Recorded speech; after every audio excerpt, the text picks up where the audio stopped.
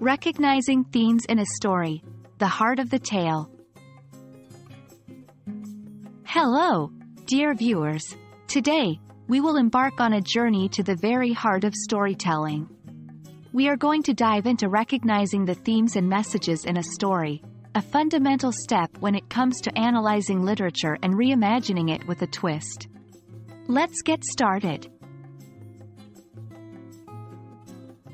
Themes are the central topics or messages that a story revolves around. They are the underlying concepts or ideas that give meaning to the narrative. For instance, in Romeo and Juliet, one of the key themes is the destructive nature of love. On the other hand, messages are the author's take on the theme, the lessons or perspectives they want to convey. Recognizing themes is essential for several reasons. 1.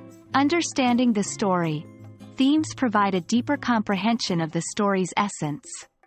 When we identify the themes, we grasp the primary messages the author wanted to convey. 2. Connect on a personal level. Themes are universal. They allow readers from different backgrounds to connect with the story. 3. Enrich discussions. Knowing the themes enriches discussions about the story, giving depth and layers to the conversation. 4. Inspiration for creative writing. Once you identify the core themes of a story, you can play around with them, twist them, or offer a fresh perspective, making your retelling unique. 1. Character's journey. Look at the protagonist's journey. What did they learn? This often mirrors the theme. 2. Recurring symbols and motifs. Symbols repeated in the story usually tie back to its central themes. 3. Dialogues. Key conversations between characters often revolve around the central theme. 4. Conflict and resolution. What major conflict drives the story, and how is it resolved? This can hint at the underlying theme. 5. Author's perspective.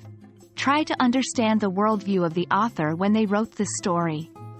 This can provide insights into the intended message. Now, let's practice.